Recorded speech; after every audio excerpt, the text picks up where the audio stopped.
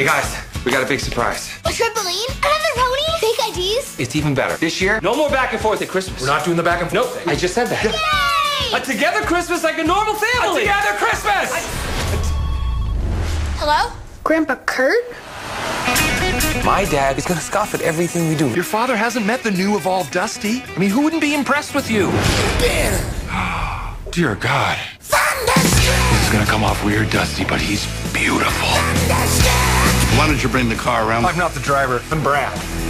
Stepdad? My dad's coming too. Dad! Red sweater. He wears a red sweater so I can see him in a crowd. There's my big man! So this co-dads thing. You gotta ask another man's permission to see your own kids. Everything is rock solid between me and Brad here. In fact, best friends. Really? Brad, Thank you. stop it. I'm good. Because we're boys. I don't get the whole girls thing. Here's the game plan. You want to be that one that she tells you about all of her problems with the guys she's actually dating. It's called the friend zone. No, no, no. It's the worst advice anyone could give you. You want to be like Brad and be in the friend zone. You want to be like Dad and get in the end zone. Oh, gosh. Those piercing eyes. Like a velociraptor. Don't you see what he's up to?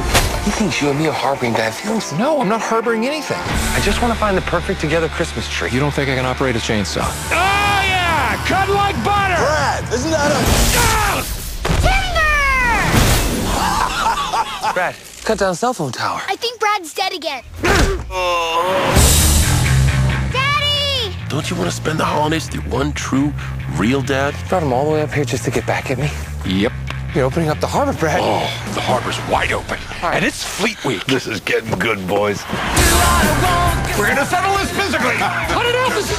Abuse. Don't be such a snowflake. Five more minutes and I get to be Joseph. You throw that, we are no longer co-dads. You gonna pump fake that thing all night? Are you gonna take a shot, Brad? Huh? He's never played sports ever. What? What? Maybe it stuck to his hand. You know what, Dusty? You're not worth it. Psych, you're totally worth it.